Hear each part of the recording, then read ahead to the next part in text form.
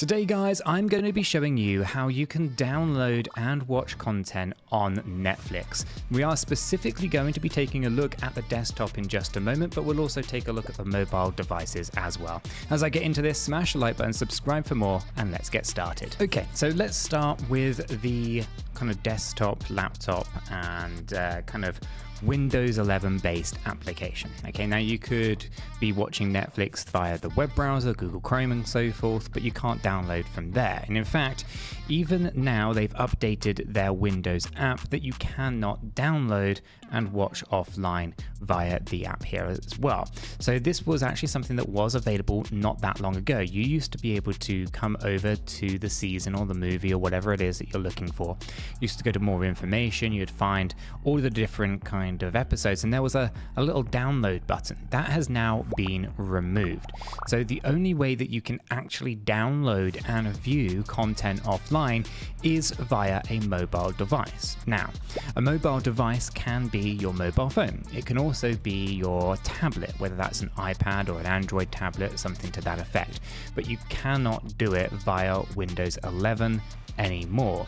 Now, I don't know if it's the same for Mac OS. It may be, probably is, but you'll have to kind of figure that one out for yourselves by searching up and seeing whether you can, of course, you know, download content offline on a Mac. I don't have a Mac to test it on, um, but as you can see here, the ability to download here on the Windows 11 machine is not there. Now, let me go ahead and show you how to do this on the iPad. Okay, so here I have my iPad. Okay, this is uh, just your standard iPad Pro, I guess.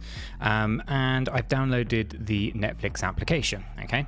Now, as we kind of scroll down here, we can we could find you know, Squid Games, which is what I was looking at before. And you can see that I've already got downloads on here that expire, you know, soon.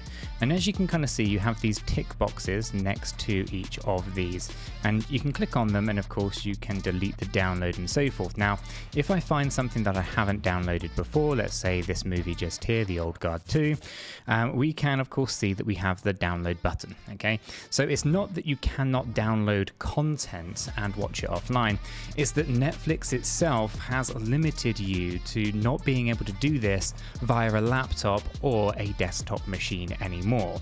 Okay, the only way to actually do this is to use a truly mobile device, which is kind of mind blowing and a little bit backwards because laptops themselves are, in fact, mobile devices.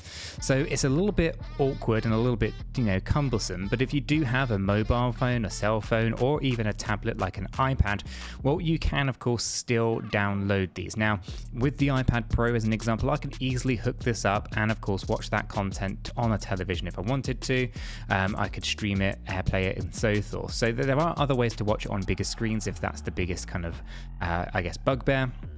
With the iPad Pro, it's a pretty decent sized screen anyway, so it's not a huge end of the world for me. But hopefully, you know, this um, you know, this method isn't terribly too difficult to, or you know, difficult for you guys to actually follow at home. And hopefully, it kind of puts that kind of question to bed, right? Can you actually download and watch content offline when it comes to um, to Windows 11 and Netflix. And so, guys, there you have it. Unfortunately, you cannot download content anymore when it comes to Windows 11 laptops or desktops, but you can, of course, still download and watch content offline via your mobile devices, your cell phones, your tablets, and so forth.